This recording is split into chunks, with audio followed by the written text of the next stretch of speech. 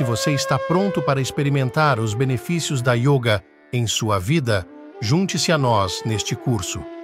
Inscreva-se agora mesmo e comece a sua jornada de yoga junto com o Sadhguru. Não perca mais tempo, clique agora no link da descrição deste vídeo e descubra mais.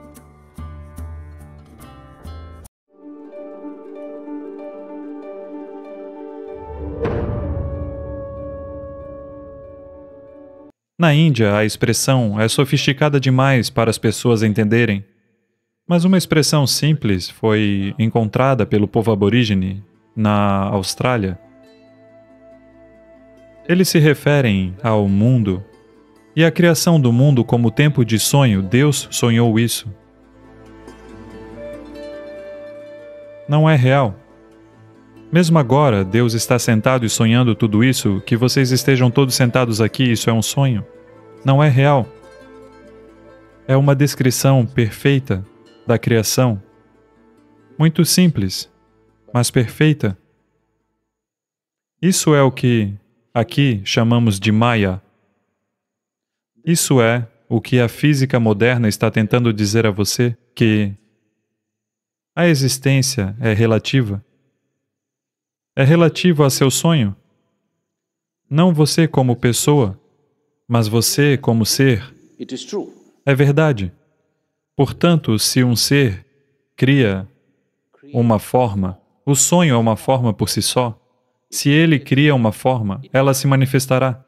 É claro que ela precisa ter um pouco de suporte, mas uma vez que haja esse suporte, ela sempre se manifestará.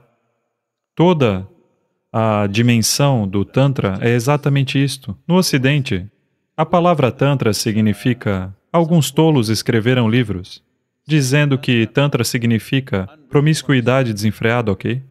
Não, Tantra significa tecnologia. A tecnologia do criar.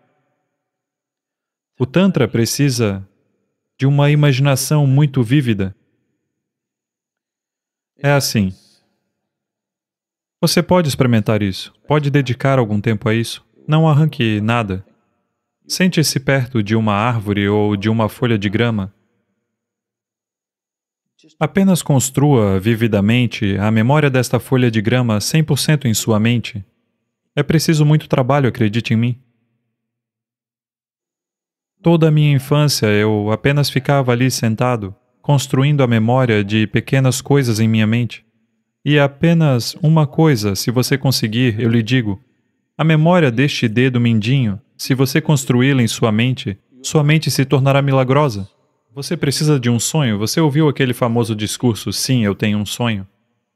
E isso fez tremendas coisas. Mudou toda a nação. Isso mudou completamente uma cultura somente porque alguém tem um sonho. Então, quando se trata de ação no mundo, você precisa de um sonho. Do contrário, como? Mas nem todo mundo precisa ter um sonho. Se cada um tem seu próprio sonho privado, eles se tornarão fantasias e vão parar em outro lugar. Um homem que é consciente deve gerar um sonho. Você quer que eu complete o sonho? Ou você já acordou? Isso acontece com sonhos, não é? Quando você está dormindo? Alguém vem e. Fim do sonho.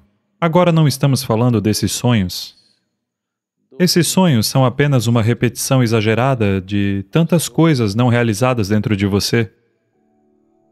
A maioria dos sonhos que as pessoas têm durante a noite são apenas realidades não vividas que encontrarão todo tipo de expressões estranhas.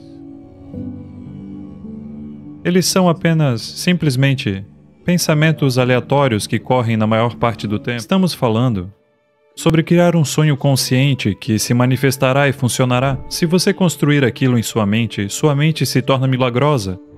Isso é Tantra. Há situações em que eles plantam uma semente, os tântricos, fazem com que ela cresça ali mesmo e dê frutos em questão de uma hora ou duas. Existem duas dimensões da vida humana. Uma, supõe-se que o ser humano apenas seja. E é claro que existe o fazer humano. O ser humano quer fazer. Se você quiser fazer algo no mundo, quanto maior e mais vívido for seu sonho, melhor.